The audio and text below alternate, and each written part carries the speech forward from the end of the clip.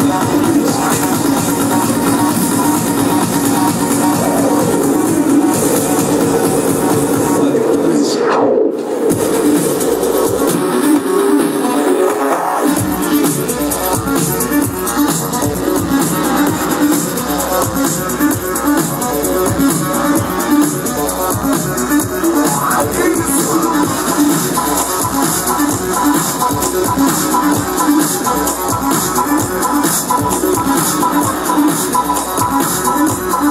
Thank you.